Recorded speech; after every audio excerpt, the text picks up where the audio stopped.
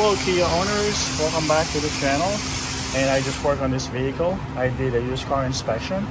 We are trying to certify this vehicle. So when I did check the battery, it has only 35% state of health. So we are going to replace it right now. Stay tuned.